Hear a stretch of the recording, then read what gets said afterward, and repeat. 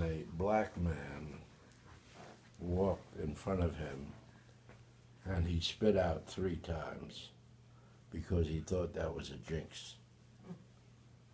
And even back then, how I thought it was dreadful what he did. How I got that feeling, I, I don't know. Yeah. See, I think something that, that there, I think that's interesting because my parents called black people Schwarzes, which is a Jewish, a Yiddish word for black, mm-hmm. and my father talked about black children as pickaninnies, and I was terribly offended, but I don't know why. Mm-hmm. I could have just accepted my parents' view, but the so, of the social world, but I didn't. And I didn't have a lot of experience. There was only one black boy in my high school. Do you remember what about your friends growing up? Do you remember if they had the same views as as their parents, which I or I- you I- or was nothing that I ever thought about? I never talked about it till I was grown up. I mean, I was ashamed of it. Um, I mean, one day we were coming back fr- in the car from somewhere, maybe visiting some, and we stopped to eat. And Elizabeth, who was our quote maid, she lived with us, and we loved her. My brother and I loved her. And we, my parents and I, we ate in a little restaurant, and they made her sit outside to eat. they wouldn't. black. Yes, Okay. and uh, that hurt me. I mean, I remember that forever because I thought that what how could you treat someone that way? And how could my parents allow that? I was I was offended. But I didn't tell them. I mean, I did I don't think I did. I don't know. So there was a big gap in perception. Um, and yet, it's interesting that in this country today, there are many people, obviously, who never made that the leap that Vic and I did for some reason which we can't explain. I had an uncle Abe who had an Army and Navy store in Harlem. And he became the wealthy. He just about supported everybody in the family. And he had a a guy called Harry Oh, I remember. who was a, a black guy. And I taught Harry how to speak Yiddish. And I called him Herschel.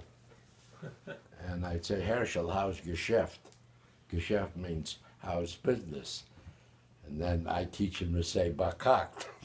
and I say, Herschel, how's Geschäft? And he would say Bakakt, which means shitty, you know. But uh, the, I mean, the family was supported by the black community who were making my uncle a rich guy. That's a longer answer than you expected. we got some interesting answers. Well, okay, so sort of going off that, um, one of the things that I wanted to ask ask you guys, you guys, I mean, clearly were ahead of the times in a certain sense, and that you sort of figured this stuff out by yourself on a certain level. So, how did you sort of perceive and think about everything that went on in the '60s, um, in terms of like Martin Luther King and all of these movements? Um, that were sort of based in trying to get equality for these people? And had you did you see that coming in some ways? Was did it take you by surprise? Was it like a finally kind of reaction for you guys? Um, i don't know like, what did what did you think about that How'd you feel about your kids participating in it? I, I think that it was like a natural thing to take to get involved in because we we took you guys march on marches. Yeah, you remember that. Mm-hmm. So it was like a way to express some of the things that we may have been feeling and thinking for a long time, and now there was um, support Yeah. for that and a way to express it. So, yeah, I think that, oh, other people feel the way we do. Um, I remember the guy who lived next door to us, Mr. Ritz, and we had an argument about segregation.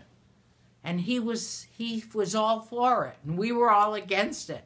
And I remember him standing on the porch, and we were arguing this point. And I thought, oh, I live next door to somebody who believes in segregation. I was horrified. Um, he moved. well, actually, he, he retired and died. That's what happened to him. So he moved in a way. Yeah, I don't. So, what did you think? Well, you know, I, I, I really don't know how I developed my liberal bent. I don't know. I was always, you know, defending the underdog. Uh, I went into the social work field because I wanted to work with people. Uh, how I developed that, I, I do do not know. Uh, it just seemed the natural thing to do. That uh, I mean, Martin Luther King was a hero. You know, uh, Kennedy was a hero. Uh, uh, I can remember. I'll never forget uh, three days after Kennedy was assassinated. Uh, I mean, it was a grim, grim uh, part of our lives. Uh, but I, I, I do not know how that happened. I, over the years, uh, my energies go toward defending people who need help. So I have one sort of follow up question too. I was talking with Grandma a little bit about this last night about all of the protests that are going on now in on college campuses and on my campus. There's been um, like a pretty big protest going on, but I'm wondering if you guys see any differences between the civil rights movements of the '60s and the protests that are going on now, or I don't know, maybe you haven't been following it close enough, um, or maybe it's. I mean, I'm sure it's not getting the same national news. Co- I mean, it is getting some of that, but in term, the civil rights movement was maybe at a whole nother level. But I'm wondering, um, like, how what differences you guys perceive in these two things. It's, it's.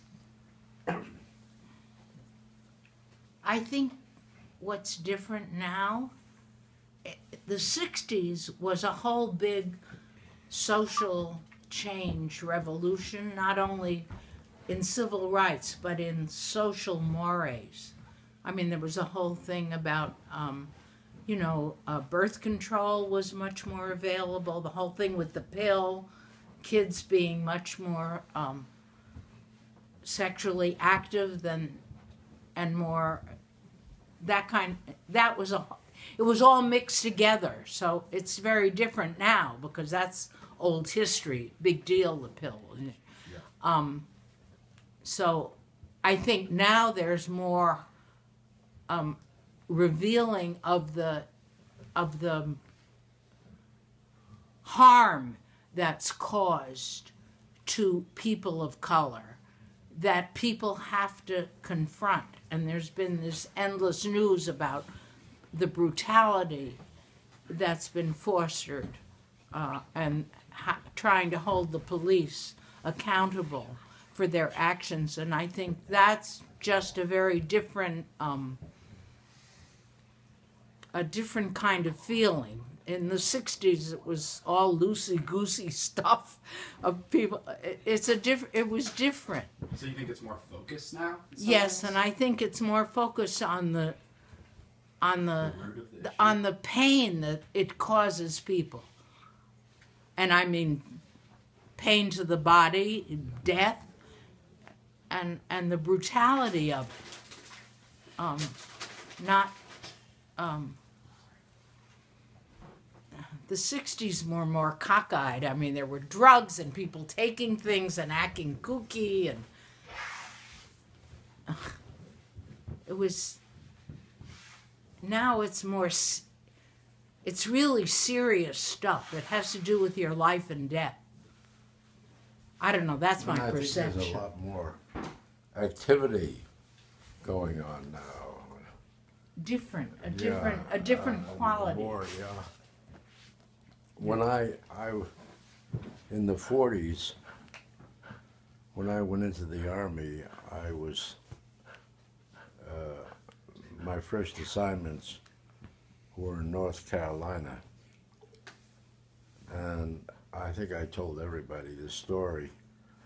I got on a bus and I was offended by the blacks having to go to the back of the bus. So I went in the back of the bus and I sat down there. And when I got off the bus, a white guy says to me, uh, You know, they will think that you're taking one of their seats rather that you're identifying with them and want to protest what's going on. And uh, I mean, the the racism back there was very overt. I had a special assignment in North Carolina, uh, in uh, Texas rather, Fort Worth, Texas, and I shared a house with three Southern guys who were the nicest guys you ever want to meet. But they would say to me, Vic, if a nigger came into that front door, we'd throw him out. Yeah, I mean, total blinders. And I think as time goes on, there's much more focused uh, groups that are really working toward more equality in many, many. But I, but I think that the racism that was spoken in those days, people don't say it now. It just went underground, people still feel it. Yeah. But they're more devious, and in a way, that's worse in a in one sense because it's not there; it's hidden, and then it comes out in all kinds of sneaky ways that are terrible. yeah, yeah. I mean, what all those stories about brutality that's another way of it coming out that's so dangerous and um, Subconscious. yeah yeah i think so I have another question. complicated yeah Um, what high school